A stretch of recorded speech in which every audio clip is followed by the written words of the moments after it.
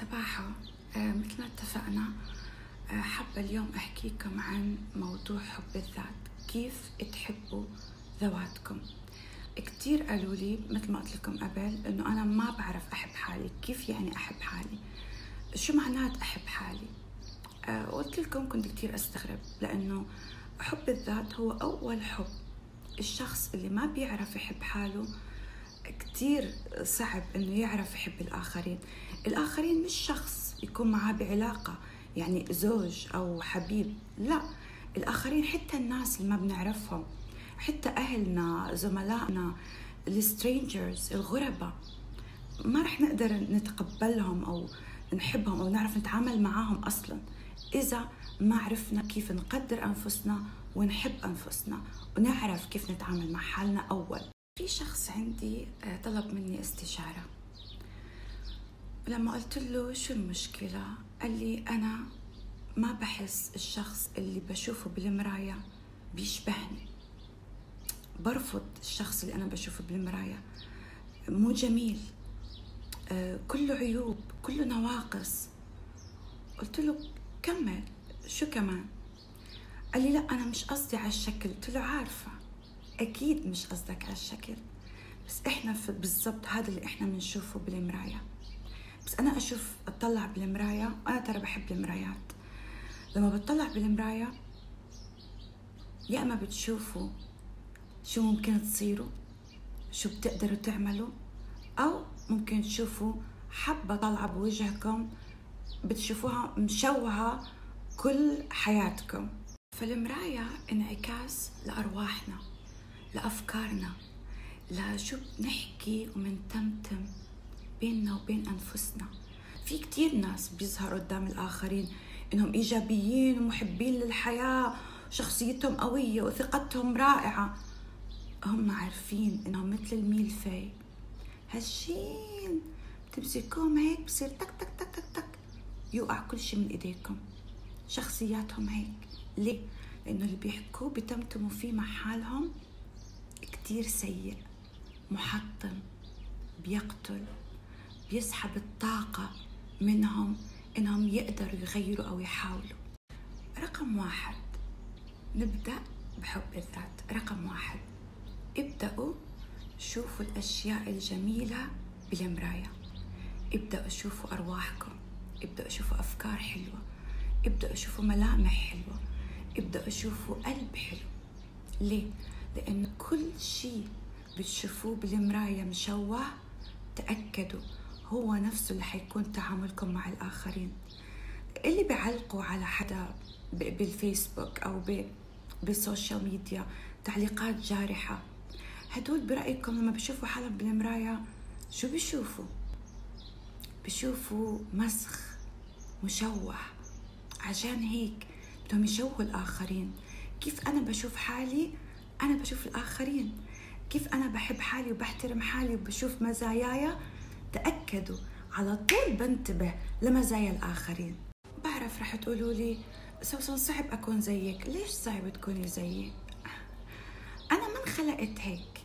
بالعكس أنا أنا من أنا صغيرة يعني من وقت ما بلشت أحكي بلشوا الناس يعيبوا علي.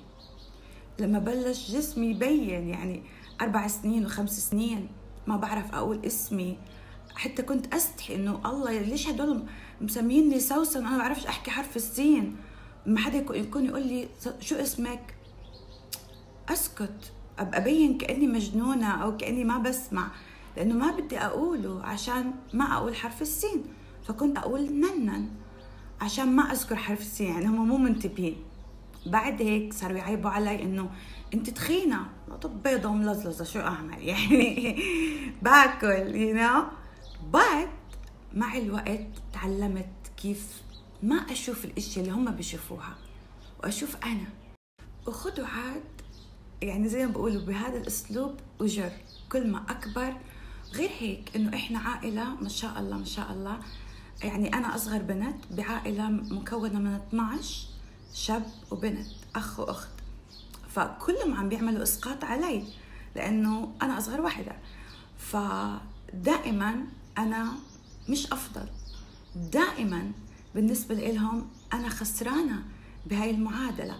غير إنه أنا يعني طبيعتي جدا مؤدبة فما بحكي قبل الكبير ما يحكي أه بستحي أه بتلبك بخجل. كتير أشياء حسيت إنه شو ولا شو بدي أغير؟ أنا أنا ما في يعني كنت كتير حتى أقول إنه استغفر الله العظيم يا رب إنه كأني أنا مخلوقة second hand أنا مش إنسانة صح. عشان هيك بدأت بالكتب. بدأت بدي أسمع حدا تاني غير غير أهلي غير إخواني وخواتي. no, no, بدي بدي أعرف شو هذا العالم اللي إحنا فيه. بدي أكتشفه. وبدأت اشتغلت على أول نقطة إنه أنا قلبي كتير ضعيف ما بتحمل. مثل ما قلت لكم بخاف بسرعة. ما لي خلق على حدا مريض على هذا هيك. دخلت التمريض. مع إنه الكل كان يقول إنه تمريض إنسي يعني وين؟ اسم العيلة. I didn't care. دخلت التمريض عشان قلبي يقوى شوي. أبدأ أعتمد على حالي. أبدأ أنا أربي سوسن. بعيد عن الآخرين شو بدهم سوسن تكون. أنا بدي سوسن تكون غير غير ال 12 كلهم غير أبوي وغير أمي. أنتم متخيلين؟ بدي أكتشف. وما تفكروا لما أنا أخذت القرار الكل سكت واحترموا رغبتي. طبعا لا. تك تك تك تك تك تك تك تك, تك. بلشوا أكثر إنهم يأكلوا بمخي. إنه no حتصيري بكرة تخدمي الناس. عشان أنا أقول لحالي لا ما بدي you know? حتصيري تحممي المرضى حيصيروا يسبوكي.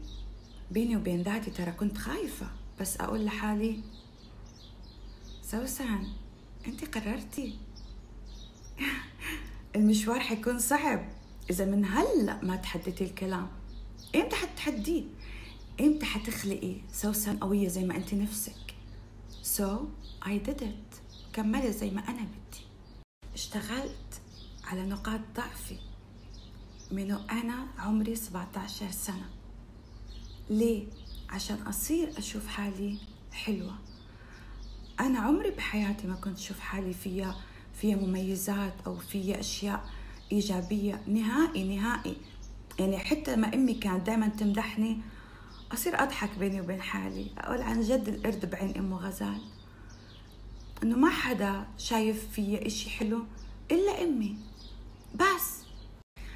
النقطة الثانية لحب الذات. كونوا أنتوا بعيوبكم قبل مميزاتكم.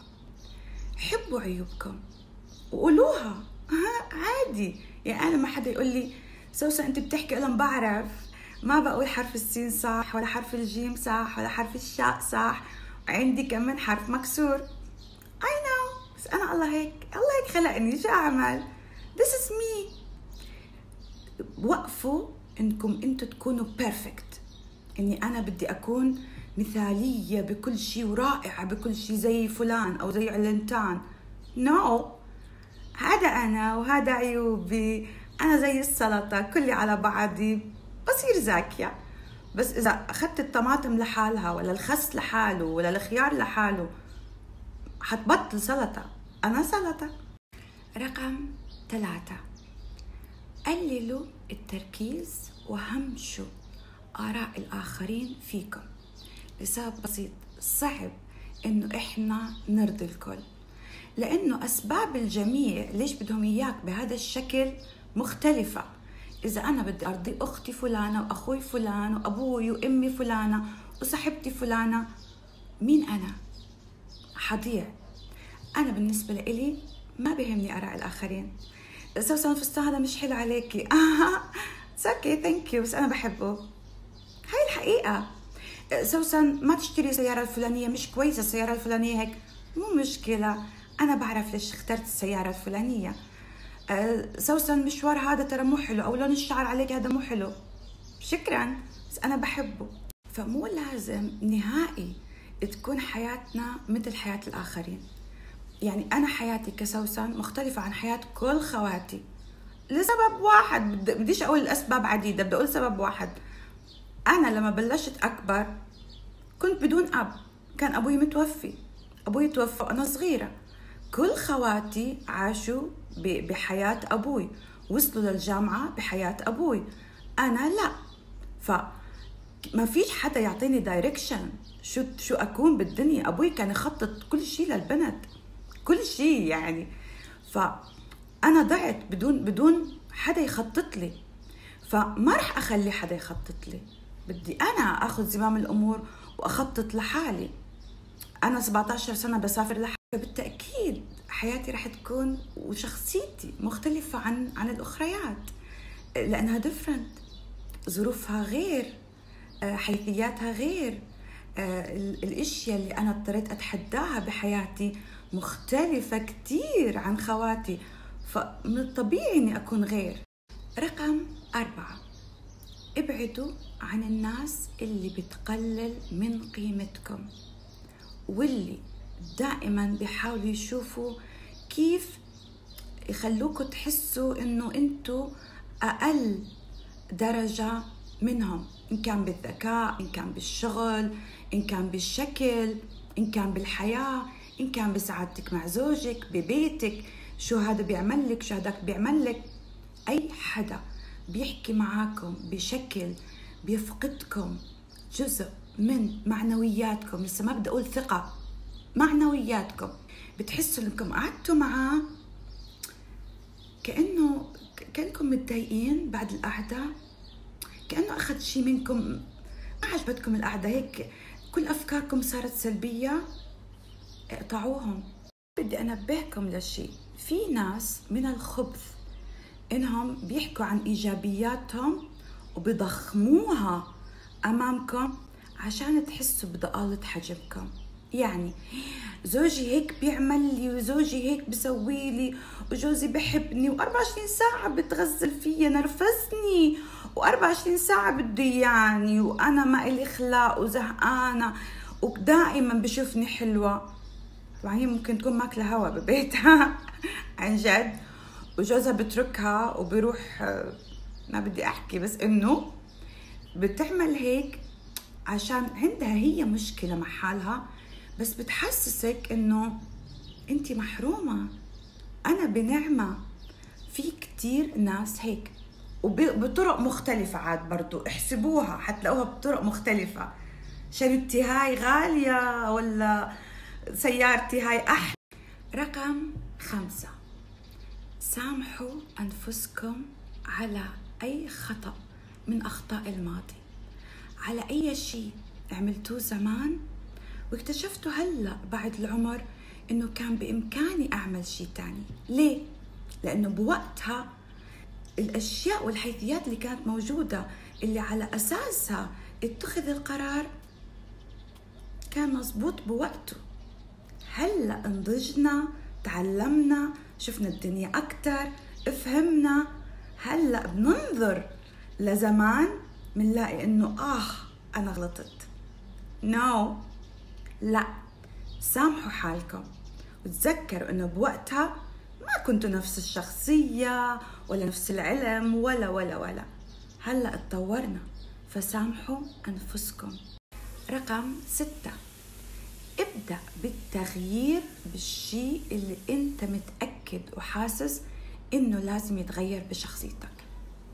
ما تقول والله نفسي أكون بهاي الشخصية ولا لازم لو كنت هيك بس أنا طبيعتي عصبي أنا طبيعتي جبانة أنا لأ فيش شيء اسمه أنا طبيعتي. عارف إنه بدك تغير هذا الشيء؟ غيره.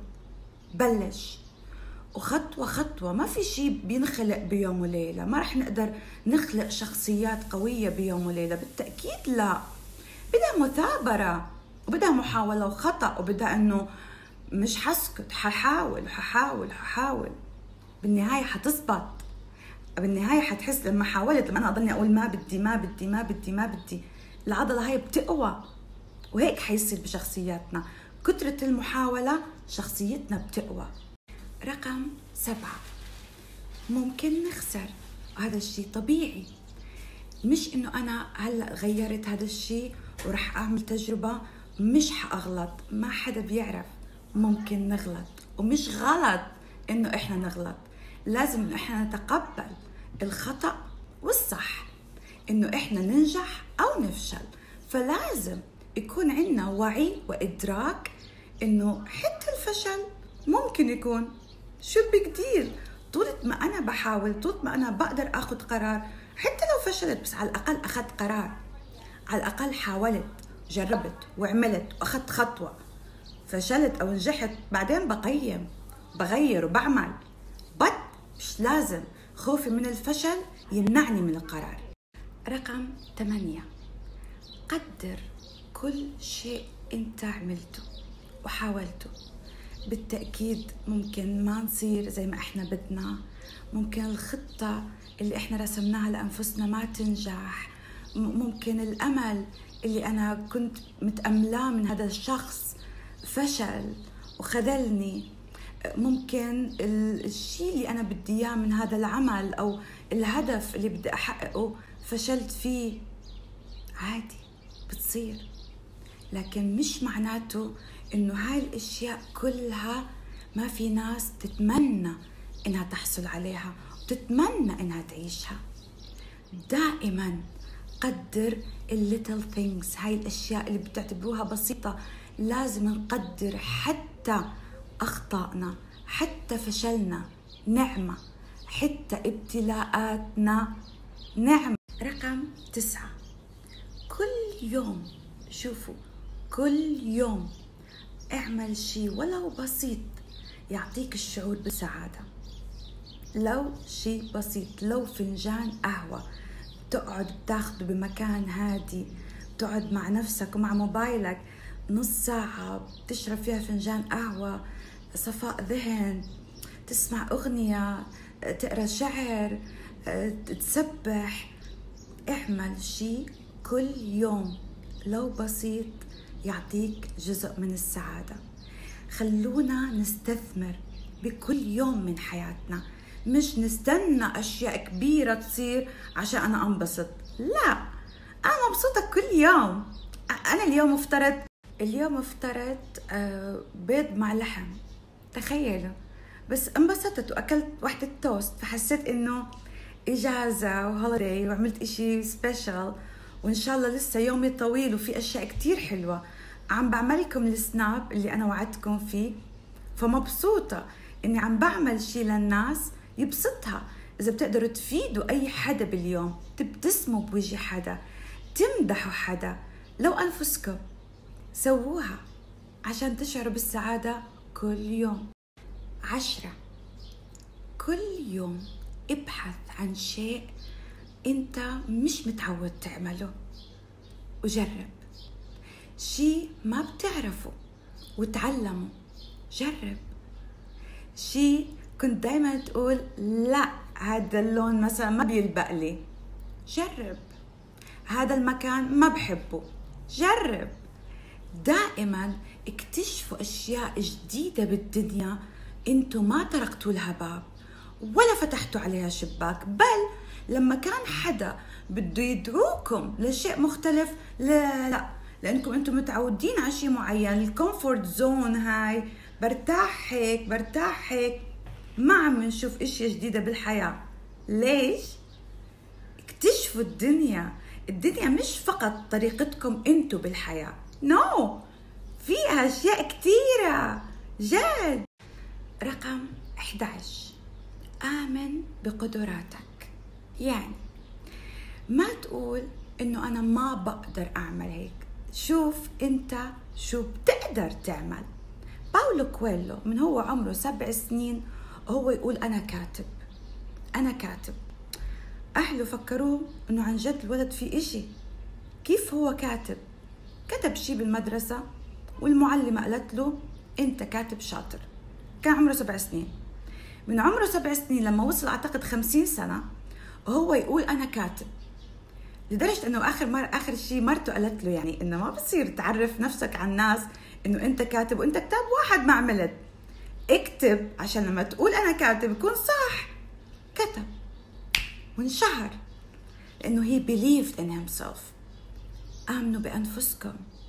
حتزبط رقم 12 اقضي وقت إنك تخلق قصتك.